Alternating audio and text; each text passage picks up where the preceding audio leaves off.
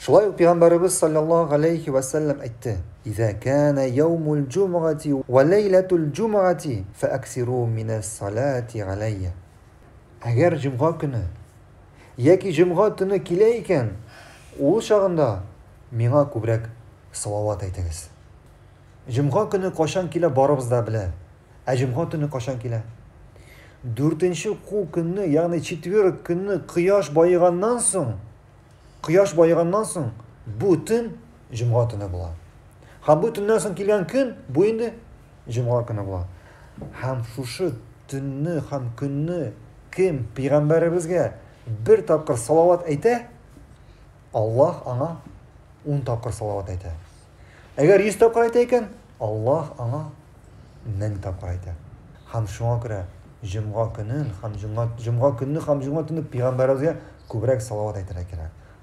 اللهم صل على محمد وعلى آل محمد كما صليت على إبراهيم وعلى آل إبراهيم إنك حميد مجيد اللهم بارك على محمد وعلى آل محمد كما باركت على إبراهيم وعلى آل إبراهيم إنك حميد مجيد حمد باشقاسın.